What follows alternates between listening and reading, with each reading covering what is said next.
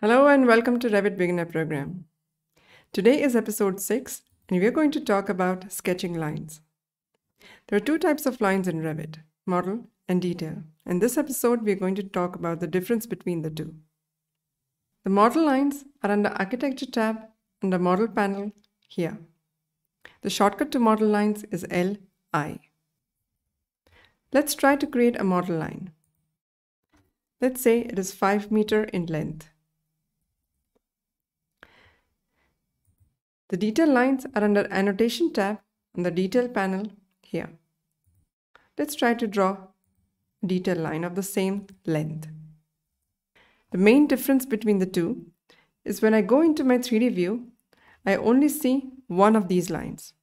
This one is my model line. So the model lines are visible in 3D view as well, whereas the detail line is visible only in the view that it was created in. As the name suggests, the model lines are used as references during modeling. The detail lines are used to add 2D details to your drawing.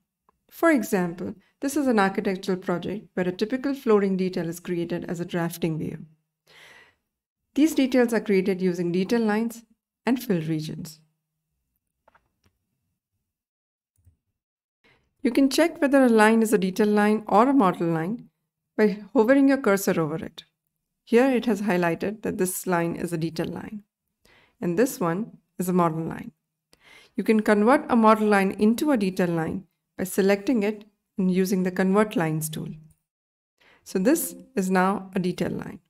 Let's go into the 3D view and see that this line is not visible anymore because it is converted into a detail line. You can also convert a detail line into a model line by using the same convert lines tool. Now let's go back to our 3D view and see if we can see it.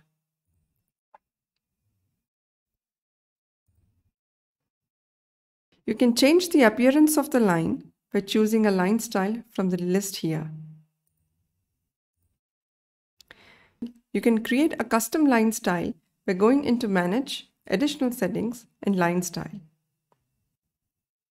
Let's create a new line style by adding a new subcategory to the lines. Let's say this is a red dotted line.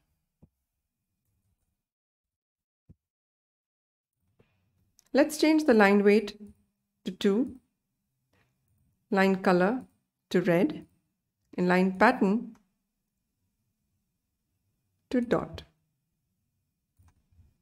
Now this red dotted line should be visible here in this drop-down menu. If you would like to create your own new line style, you may pause this video here and follow these steps on the screen. In the next episode, we are going to talk about how to draw different shapes in Revit using lines. I hope you enjoyed today's video and I'll see you in the next.